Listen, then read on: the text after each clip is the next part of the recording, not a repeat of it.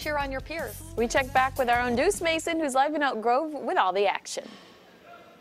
Yeah, unfortunately, like I mentioned, not able to uh, compete today because I'm working on good day. Otherwise, obviously, I'd probably be winning every competition, Yeah, CrossFit, deadlift, all that stuff. And I'm not really prepared uh, to compete today, so I apologize to all those who are hoping so. But you know who's here? Kim. Kim, go over your resume for me.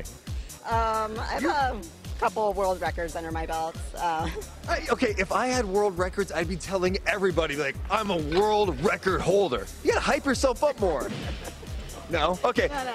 Show show me what you're gonna be doing today. I know. I mean, obviously a lot. What is this we're doing? um, this is the deadlift. Uh, How much are you uh, lifting here? uh, this is 305.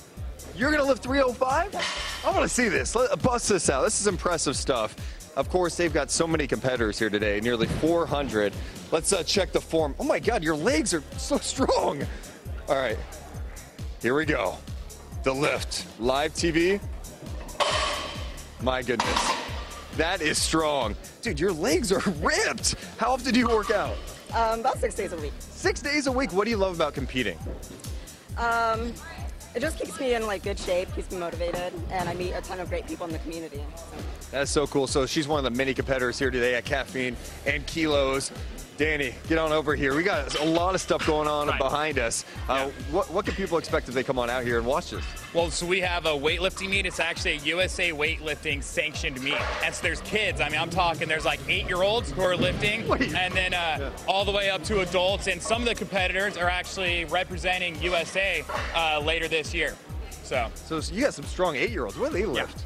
Uh, well, so it depends. So some of them uh, to compete, it's the snatch and the clean and jerk. So snatch, the bar goes straight to overhead in one movement. And so actually, you guys about to do a snatch over there right now. And so you'll see. And so like that example, that is uh, 220 pounds. That's 100 kilos about to lift. So it's so cool for people to come on out here and check out all the competitors, different age groups, of course, male and female, and they get to try your awesome coffee too, right? Oh yeah, absolutely. And so we have yeah we have a coffee bar here, and so we have hot coffee, we have uh, cold brew, and then we actually have a, co- uh nitro cold brew that's here for the event. So we got that kind of specially brewed up for everybody. So you got a lot going on here today. It's going on all day. What time does it end? Uh, it'll end about 6:30 tonight. Oh my God, get on out here. Check it out. There's so many strong people. It's pretty impressive to watch them in action too. So come on out here, guys. Back over to you. By the way, uh, Caffeine and Kilos on their Instagram, they were going live with you. Smart people. Yeah. They should. So, yeah, yeah, makes they sense. Check them out on Instagram as well.